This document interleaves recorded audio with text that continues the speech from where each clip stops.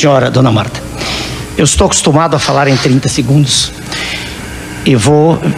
Quero ver como a senhora responde em 30 segundos. Vou dividir o tempo em três perguntas. Não, não é possível. É uma pergunta só. A senhora escolhe qualquer uma das três, senhora, seu gosto.